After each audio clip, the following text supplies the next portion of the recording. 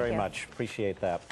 Well, as we reported earlier, conservatives who were targeted by the IRS are testifying on Capitol Hill today. Our next guest says the allegation should not come as a surprise since he claims the IRS has been doing this for over a decade. Joining us now is the president of Americans for Tax Reform, Grover Norquist. Grover, thanks so much for joining us. So you're saying during the Bush administration as well, this was pretty common practice? Well, I can't speak for the Bush administration, but uh, in the 90s, I served on a congressional commission that was put together. Uh, Senator Bob Kerrey and uh, now Senator uh, Robert Portman were the two chairs of that uh, commission, and we were looking into abuses by the IRS back then. Uh, you may remember scandals where IRS agents were going over their neighbors' tax returns and movie stars' mm -hmm. tax returns, and people violating the privacy of citizens that they had no reason uh, to do. They weren't auditing their, uh, their taxes. Because they had that commission, we interviewed people from the IRS, and I said that I'd been checking, and conservative groups were getting audited under the Clinton administration. And when I checked with liberal groups, they weren't getting audited. Could he please explain this discrepancy? And he insisted, well, you know, we have a scientific way of doing all this, and it's all very even, Steven. Uh, and I said, well, can you explain the discrepancy? Perhaps tell us what this even, right. Steven, very fair measure is. And he said, no, I can't. It's a secret, but you'll have to trust us. Uh, and in point Never of fact, trust anyone who says that, right, Grover? Hey, listen. Uh, it's dangerous. Yeah, but this is, is long-standing, unfortunately. Yeah, well, are we ever going to get to the bottom of who authorized this latest scandal in the Cincinnati office? I mean, I would imagine any memos out there, you'd think, do not exist anymore. But how high up do you think it goes?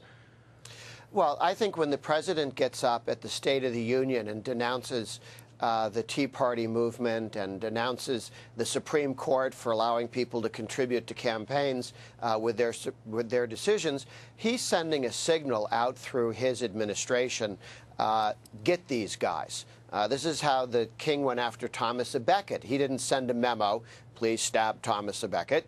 He just complained an awful lot, and his troops got the joke.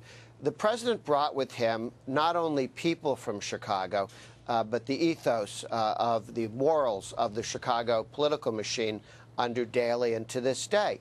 And they use the tax office, the assessor's office, uh, against their political enemies and to help their political friends. They use the government as an extension of the Democratic Party machine in Chicago why would we think they'd operate any differently? And we're certainly seeing that they didn't operate so, any differently. Grover, from uh, a conservative's point of view, is it more important mm -hmm. to damage the Obama administration, depending on how this investigation pans out, or is it more important to bring tax reform front and center as a result of this momentum? Well, we need to get the truth. And when Obama's people take the Fifth Amendment, that's not getting to the truth we are getting Obama's political people like Axelrod complaining about the investigation, which tells you that he thinks that it's a threat to the president's credibility and, and his, perhaps his presidency. Uh, otherwise, he's, he's not an economist. He doesn't work at, he's not a Treasury Department guy. He's the political hack. And he says, please stop investigating this. Um, I think we need to get to the facts of this so the American people can, can look at how we fix it. And there are two fixes. There are changes on how the IRS behaves, and there are changes in the laws that the IRS enforces. If we had simpler, less oppressive taxes, you wouldn't have some of these problems in implementing it. But we also need to police against IRS political abuses, even in a perfect tax system. If the IRS is targeting people politically for audits and harassment, um, that needs to be fixed. It needs to be transparent. Somebody needs to be looking over this. We need to go back 20 years and say how many liberal groups were audited, how many conservative groups were audited.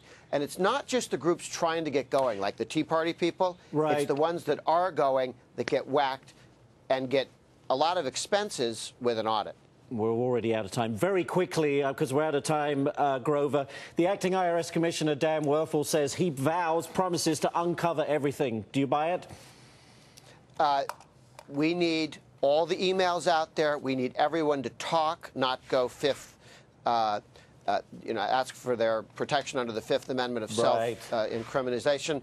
Uh, He isn't the guy who can do this. Everybody who works there is, and the president and his political guys need to stop interfering in the press with this investigation.